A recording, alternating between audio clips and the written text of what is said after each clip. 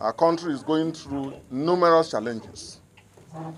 Challenge of a, a non-functioning structure.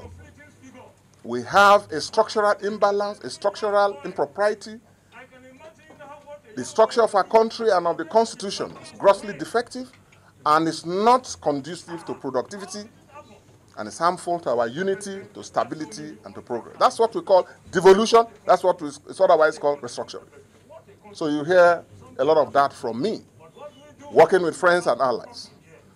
And working with friends, we'll also talk about electoral reform. So see how we can deepen our democracy.